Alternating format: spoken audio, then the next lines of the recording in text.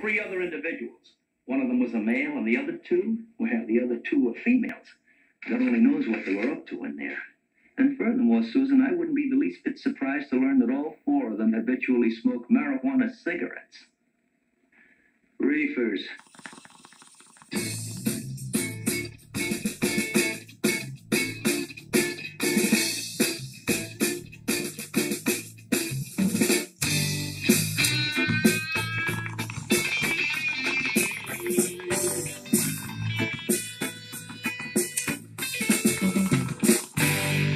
Smoke two joints in the morning.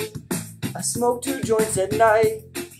I smoke two joints in the afternoon. It makes me feel alright.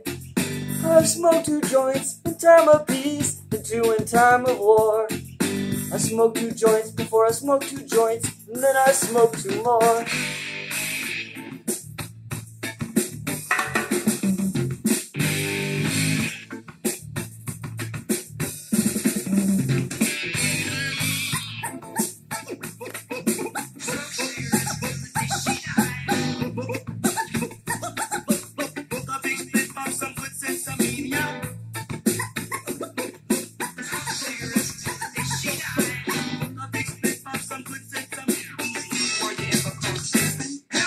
Daddy, once told me, son, you be a hardworking man. And Mama, she once told me, son, you do the best you can.